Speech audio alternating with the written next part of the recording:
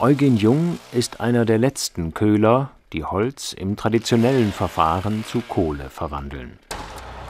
Das Holz für die Holzkohle bezieht Eugen Jung aus den Staatswäldern. Eugen Jung macht seine Holzkohle hauptsächlich aus Buchenholz. Je nach Verwendungszweck werden aber auch andere Holzarten benutzt. Die Kohlplatte, die Arbeitsfläche des Köhlers. Ihr Untergrund wird von einer 50 cm dicken, festgestampften Lehmschicht gebildet. In der Mitte der Kohlplatte stellt der Köhler das Füllhäusel auf, einen Sack mit angesenkten Holzkohleresten oder Fichtenholz. Dieser bildet den Feuerschacht, das Herz des Meilers. Von hier aus wird später der Schwelvorgang eingeleitet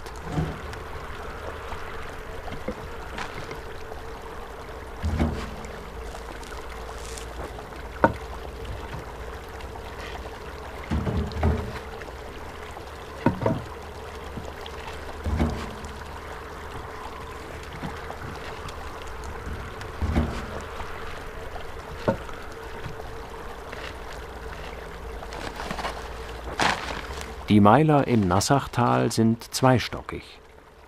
Eugen Jung verlängert den Feuerschacht mit einem zweiten Füllhäusel. So entsteht allmählich ein sich nach oben verjüngender, igluförmiger Meiler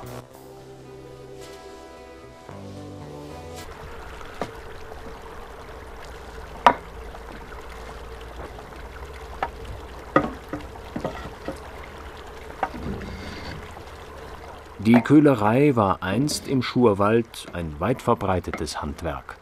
Seit dem 18. Jahrhundert ging sie langsam zurück. Nach dem Zweiten Weltkrieg brannten im Nassachtal noch neun Köhler Holzkohle. Heute betreibt nur noch Eugen Jung die Köhlerei im Vollerwerb.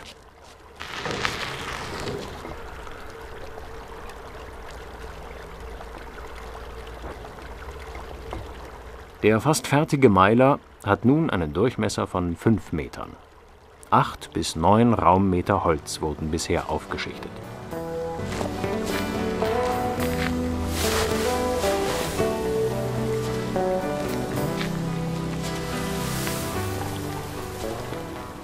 Eugen Jung deckt den Meiler mit feuchtem Heu ab. Das Heu bildet die Grundlage für ein weiteres Material, das Gmiel, das aus feinen Kohleresten besteht.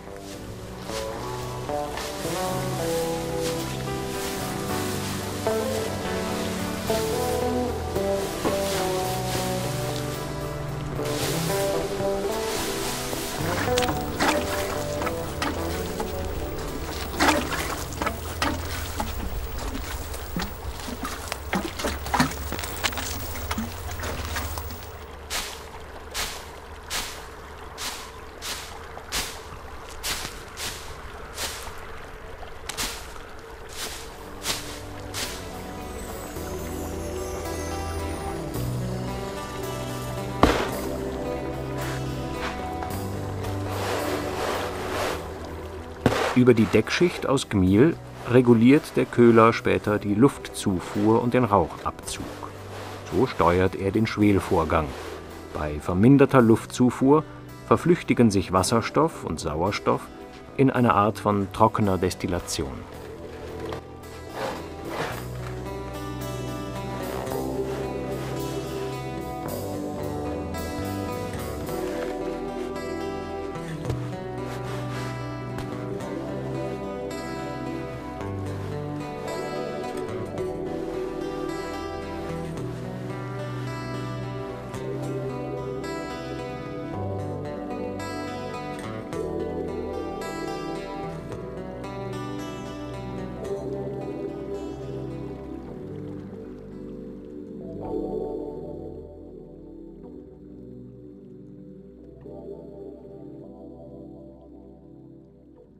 Frühmorgens am dritten Tag. Eugen Jung zündet den Meiler an. Zuerst entfacht er ein Feuer am Boden.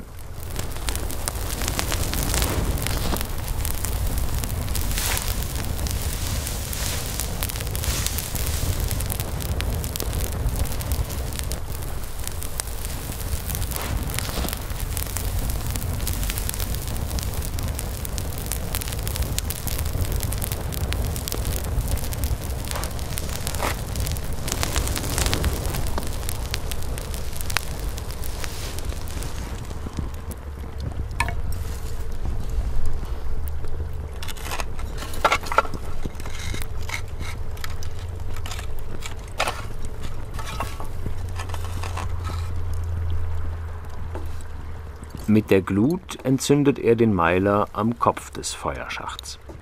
Von hier aus frisst sich der Schwelbrand langsam durch gewaltige Mengen Buchenholz.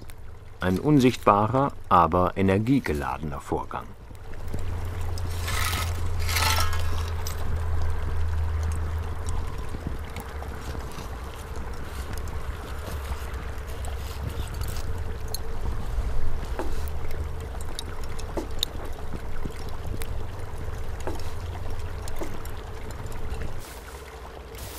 Wie alle chemischen Vorgänge muss auch der Schwelvorgang im Innern des Meilers ständig kontrolliert und überwacht werden. Elektronische Messinstrumente gibt es nicht. Nie darf der Schwelvorgang sich unkontrolliert verselbstständigen. Windiges und trockenes Wetter sind ungünstig. Der Köhler schätzt eine ruhige und feuchte Wetterlage. Er braucht viel handwerkliche Erfahrung und muss mit wachen Sinnesorganen bei der Sache sein. Hören, Sehen, Riechen sind wichtige Grundlagen seiner Tätigkeit.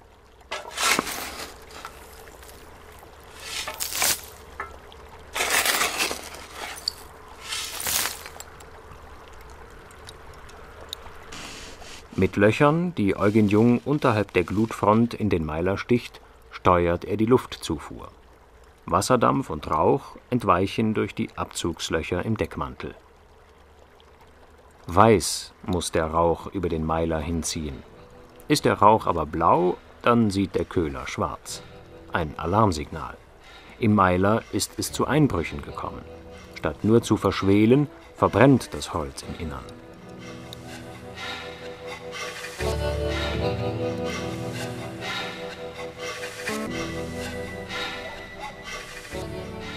Der Schwelvorgang dauert drei bis vier Tage. Eugen Jung arbeitet allein auf der Kohlplatte. Ja, dies ist ein Durchschnitt von unserem Meiler. Was ihr hier seht, das schwarze, diesen schwarzen äh, Rand hier rum zu, das ist das äh, Kohlemehl, wo wir unser Meiler mit abdecken. Dann kommt darunter eine Heuschicht. Was ihr hier dann seht, das ist das Füllhäuschen und da drin äh, stecken wir unser Meiler an. Denn der Meiler wird von oben angesteckt, muss von oben nach unten schwelen. Äh, dann verteilt sich das äh, von innen nach außen, die Schwelung. Und wenn die Schwelung hier unten ist, auf dem Boden, dann wissen wir, er ist fertig. Und das dauert ungefähr drei bis vier Tage. Und dann können wir ihn ausnehmen.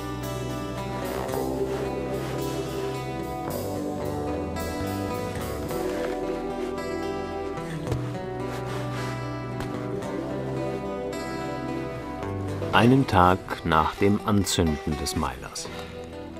Jetzt erreicht der Schwelbrand die höchste Temperatur, rund 800 Grad. Eugen Jung muss den Meiler mindestens alle drei bis vier Stunden bei Tag und Nacht, bei jedem Wetter kontrollieren und beobachten.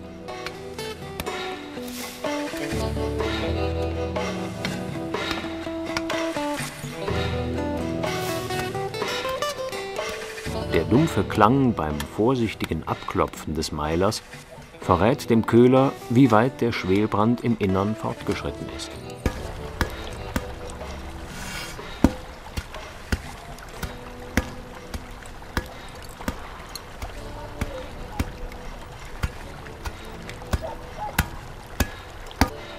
Je mehr Zeit der Meiler zum Verschwelen hat, umso besser ist die Qualität der Kohle und umso höher ist der Ertrag. Damit der Schwelvorgang nicht zu rasch verläuft und die Deckschicht nicht abbröselt, wird das Gniel ständig befeuchtet.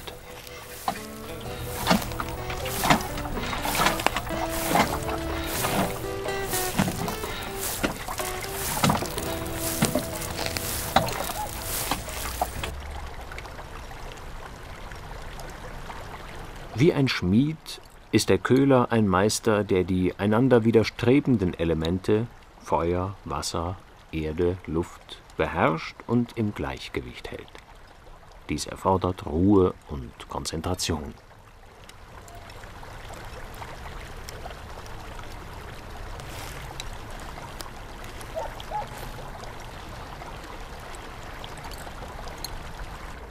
Nach Ende des Schwelvorgangs braucht der Meiler Zeit zum Ausglühen. Er muss einen Tag ruhen. Der Abbau. Am frühen Morgen nimmt der Köhler den Meiler auseinander. Der Gnielmantel wird mit Schaufel und Rechen abgestreift. Noch herrscht im Meiler eine Temperatur von 200 bis 300 Grad. An heißen Nachmittagen wäre die Hitze unerträglich. Der Abraumvorgang geschieht in einem enormen Arbeitstempo. Die glühende Kohle verbrennt, wenn sie mit Luft in Verbindung kommt. Das muss unter allen Umständen verhindert werden, durch dosiertes Löschen. Auch werden Kohle und Mehl nochmals aufgeworfen, um die Restglut zu ersticken.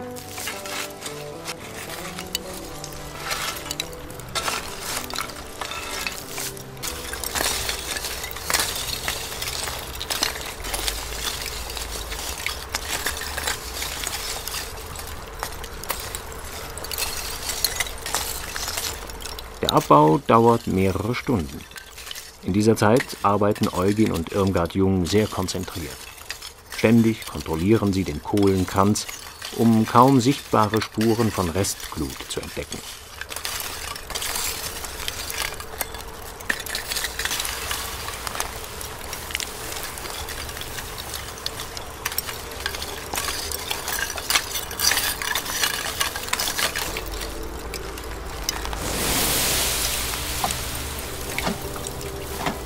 Probleme mit dem Verkauf seiner Erzeugnisse hat Eugen Jung nicht. Früher lieferte er die Holzkohle auch an Gießereien. Heute beliefert er vor allem Gaststätten und Privatleute, die Holzkohle zum Grillen verwenden.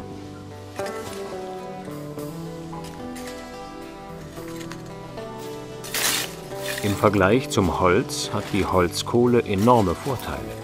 Sie hat die Hälfte an Volumen, ein Viertel an Gewicht liefert nahezu das Doppelte an Hitzeleistung und verbrennt fast rauchfrei.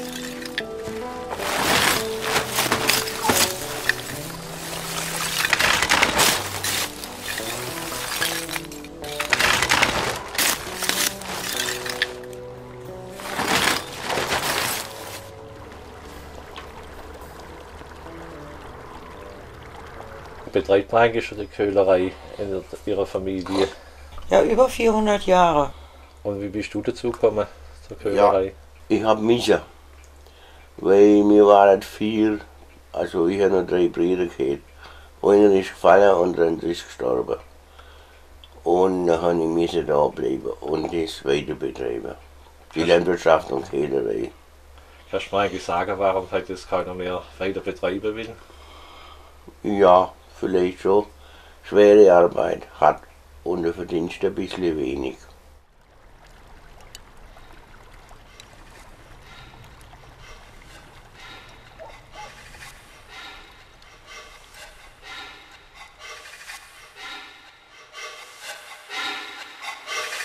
Musik